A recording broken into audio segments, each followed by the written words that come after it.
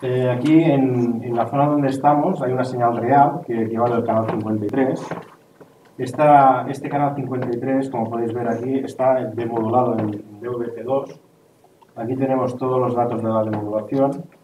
Vemos que eh, utiliza una constelación de 256 QAM y en, en, la información del canal lo que nos podemos ver es, aquí nos hace relación a la, aquí es un canal de, de, ultra alta definición. Aquí vemos que el formato de resolución es resolución de 4K. Vemos aquí, eh, incluso aquí nos dan el nombre del canal que es 4K en pruebas. Podemos ver eh, la constelación de, de, un canal del DVT2. Vemos que, está, que es una constelación de 256 QAM, que hace referencia a lo que explicaba Jordi, que comprimimos más la señal para que quepa más información y esta señal de radiofrecuencia será mucho más robusta.